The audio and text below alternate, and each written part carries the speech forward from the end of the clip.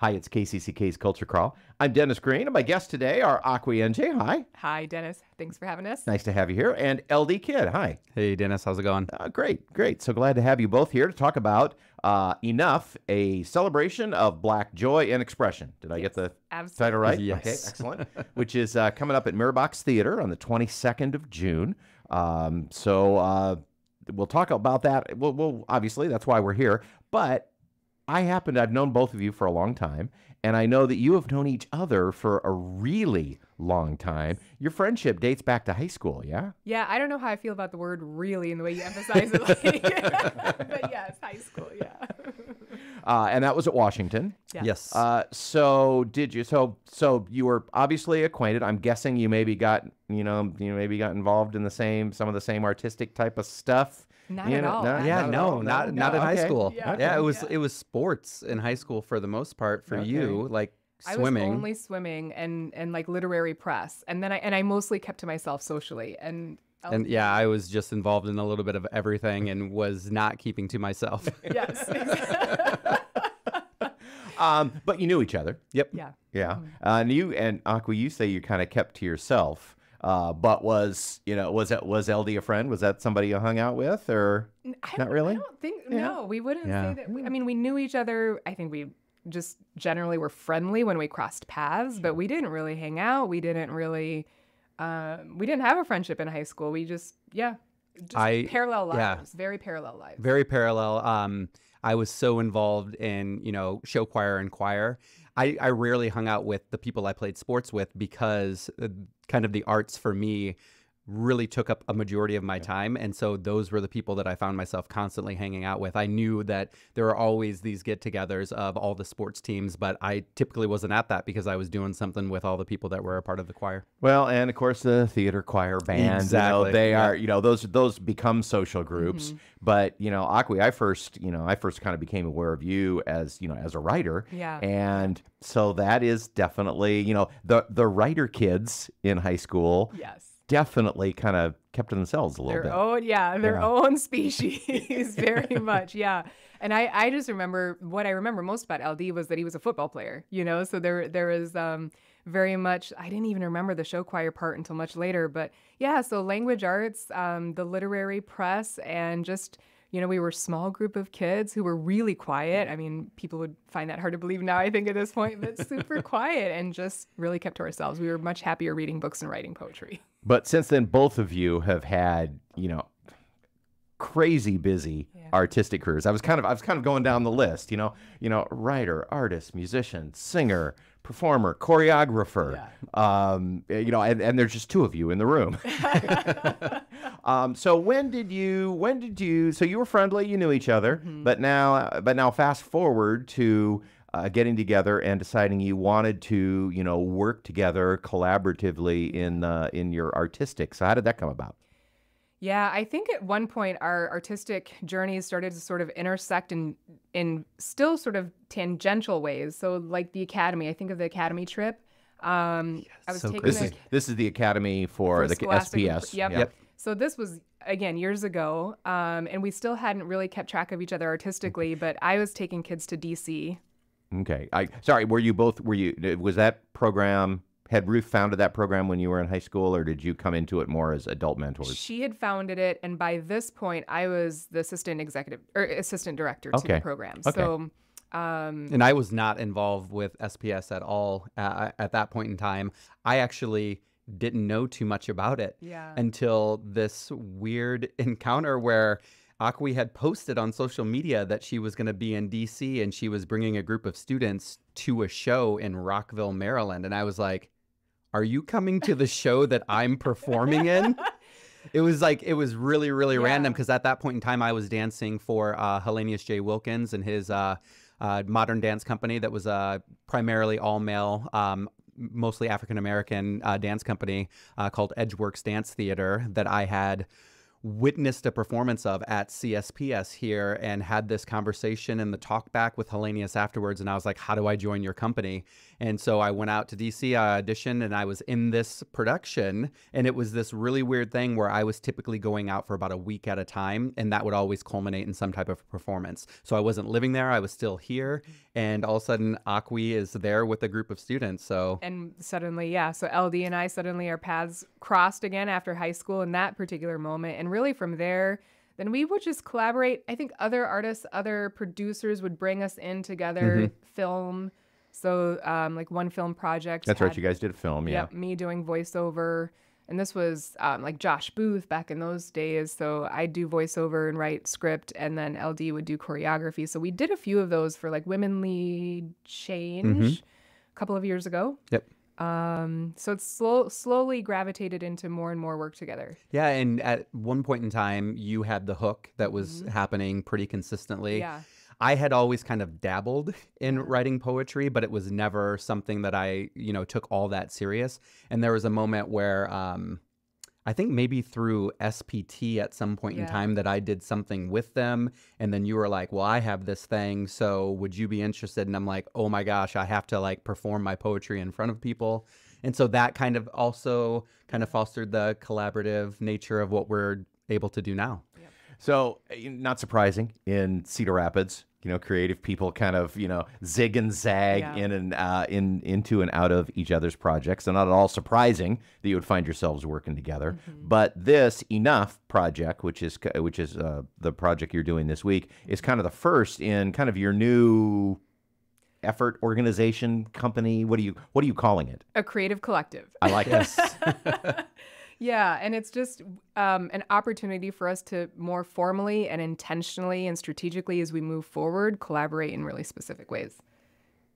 Okay, well, that leads us to uh, this weekend's uh, performance. It's going to involve the two of you and Alicia Monet and um, EJ Swavv. EJ, Yep. yeah. Oh, EJ, e, EJ, LD, all the initials. exactly, exactly.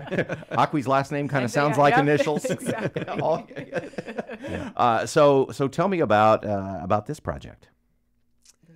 Yeah, I mean, this is uh if you haven't already, I would highly recommend taking opportunity on any of the streaming services, listening to Akwi's album Enough uh, that she produced last year. And this was your first attempt at like recording your poetry in this album form. Yes. And uh, she was able to collaborate with uh, Lyrical TMG based out of Waterloo, and he created all these beats for it. It's a phenomenal, phenomenal, phenomenal album. And so um, this grant through the Iowa Arts Council uh, was basically an extension of that project, turning this into a live performance. And when Akwi approached me about this, I was just like, ideas, you know, come, come flooding into my mind. I'm like, okay, we could do this. We could do this. Here are the people we could collaborate with. Let's strip it down and make it so it's so different from the album that it gives us the ability to then, if we want to, take it to another level at, at any given time. So, uh, this performance is really stripped back. Nothing is amplified, uh, which is a really intimate way of doing this project. Yeah, so just piggybacking off of that with the album, I mean, receiving the grant and thinking through how I wanted to adapt the album content into the live performance, my first thought, I originally thought, all right, it'll just be me on stage. I'll get a band. Like, there we go. I've done that before, right? Um, with SPT Theater and PoJam. And the more I thought about it, the more I was like, I don't, I don't, that doesn't feel right. I want to do something different. I want to do it in a way that hasn't been done before, that I haven't tried before. And so thinking through that process and generally just sort of randomly crossing paths with LD as I was thinking through this, vocalizing this project concept with LD, and LD did what LD does when when we have these conversations, which is like you just said, he took the idea and he runs with it, and it's like yes, okay, and you know we think differently creatively. Our our brains our imaginations work in different very different ways. But ultimately um, i always appreciate that when we come together on a project it's it's in the spirit of yes and yes and it's not necessarily i have my idea of how this should look he has his idea of how this should look and we've got to make a decision about one or the other it's how does that yes and yes and yes and get us to this really cool thing that neither one of us would have necessarily created on our own Exactly. Uh, and then, so tell me how uh, tell me how Alicia and EJ fall into this then. again ld's yeah. It, it was one of those things where we were uh, talking about people that we've worked with in the past. And again, it didn't feel it didn't feel like it was the right path for this journey to do something that we've already done. And so I got the opportunity uh, to work with EJ. Uh, he was the drummer for um, Classic Edition, which is the show choir over at McKinley Middle School. So I got to know him a little bit more through that uh, uh, as the co-director of that program. And Alicia is somebody who I for years and years and years. Uh, I think probably since Follies at some point in time was like, I want to collaborate with you in some way, shape, or form, and I don't know what that looks like. And I would, you know, send her ideas, and she uh, would always say, "Yeah, that's great," and then scheduling just wouldn't work. Mm-hmm. So uh, Alicia and EJ are partners, so you know they're in a uh, relationship together, and so it felt right to have kind of this like quad approach to it, this mm-hmm. quartet look at very different you know primary focuses of what our art is. Uh, EJ as a drummer and percussionist who is also a producer, Alicia who is an amazing vocalist, Akwi as a spoken word artist and uh, visual artist with painting, and then me as the choreographer dancer. It felt like it was four very unique perspectives of a way to approach this whole project. And Alicia is somebody that LD and I, I think going all the way back to like 2016, 2017, maybe, um, have just over the years talked about if we were to ever create a, a, production for the stage and we wanted to incorporate vocals, who would that be? And Alicia's name has always, always been at yep. the top. Yeah. Uh, so then, how has so you've got you know four very diverse voices. Yeah. I mean, obviously, you know the two of you are kind of uh, conceptualizing the form of this. Uh, as you worked the other two in, how did that all come together? Yeah, it was. It's so because you got. I get, I'm guessing you got pretty four pretty strong personalities. yes, you know. I mean, yeah, it's four four strong personalities, but everybody is just in this collaborative spirit. Mm-hmm. And LD can correct me, or I think the first few meetings. Um, because LD and I have worked so closely together frequently enough, and I actually haven't worked with either EJ or Alicia. And so I think the first few meetings were all of us just trying to get a sense of what this dynamic and what this energy is like together and being very open to that. But yeah, I, I 100% agree with that. And it was also a getting to know one another. Like, yeah. I think the very first rehearsal and even the second rehearsal, the first 30 to 45 minutes was just kind of chatting, like yeah. getting to know one another, getting to know a little bit more history, uh, especially for Akwi having not worked with either one of them. And that felt very um, authentic to this specific process, uh, which we talked about the yes and concept, which comes from improv.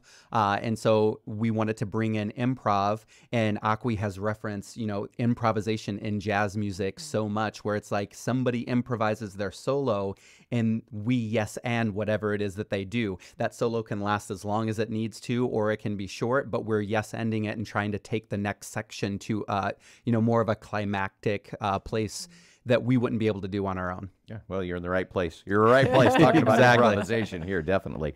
Uh, Akwi, since the, since this began with your album, mm-hmm. enough, uh, what is what's the biggest change yeah. that you know that you see as it as this performance is coming together? What's what's the biggest uh, part that evolved? Yeah, so um, I've really been thinking through that quite a bit, and I would say that at the beginning of this process, I I had to let go of some of that this was the vision originally because it's a different experience in this live performance and the collaboration. I think the biggest changes. Um, the first was that in the early meetings, we wanted to make sure that the themes in the in the script, in the words, somehow felt authentic to all of us, right? So we had conversations about, well, what does this mean to you? What does this mean to each of us so that we're creating a piece that's not just me and my voice and my ideas anymore, but it's the collective experience. So I think that was part of it is it's not it's no longer my voice literally or figuratively. It's have it's a cast of folks who've come together to think about what spirituality, black creativity, black identity looks and feels like to each of us as individuals and holistically. Um, and then the other is the album. I always imagined that I was it was a very intimate conversation between me and one other person who's listening, and um, and now and now it's really more in some ways a conversation we're all having together with each other and then pulling in this larger audience too. Uh, the show is enough, uh, a celebration of black. Uh, shoot, I didn't. um, joy, black joy and experience.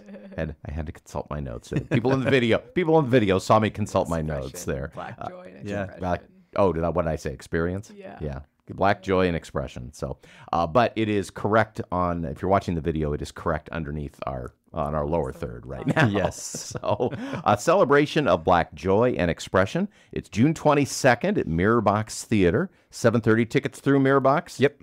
They're available online right now, so make sure that you get them. The seating is limited at Mirrorbox, yeah. so um, we definitely hope to sell out uh, within the next couple of days. So I would grab your tickets now. Uh, and um, also, not a coincidence. This is the week of Juneteenth. So that's uh, you know that, not a coincidence that it's happening this week as well. Absolutely. Yeah. Well, it just sounds like uh, sounds like a fun and exciting project. Congratulations on getting this pulled together, and uh, I'm looking forward to seeing what your next project's going to be too. Excellent. Thank, Thank- you so much, Dennis. Thanks for being here. Thank you for having us. You can hear the Culture Crawl live on the radio many weekdays at 10:30 or download the podcast. Watch or listen on your own schedule at kcck.org/culture or using your favorite podcast app. You can watch the videos on our Facebook or YouTube channels too. Our producer is Lydia Kilgore. I'm Dennis Green. I'll talk to you later.